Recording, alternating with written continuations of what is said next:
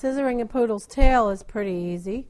We're going to, Rosie's got kind of a thin tail because she's an older dog. Some poodles have tails way out to here, but we're going to scissor it round. You just kind of brush it out and fluff, comb it out and fluff it up a little bit. Get all the knots and stuff out of it.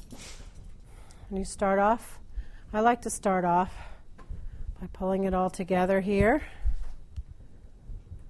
Twisty, twist it like a little twisty tie, and slide the scissors through it, and that makes for the round top. And then you brush down, hold the top, Rosie here, and brush down the bottom. Take your scissors and you go around the bottom like so.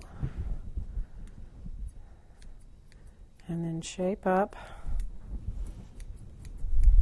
all the stuff that's left. And you have a nice round tail when she wags it. Up at the top of the tail here, if you take your scissors and make a little V, when she puts her tail up, you won't have all this hair sticking up. And you finish out the little areas that have extra hair.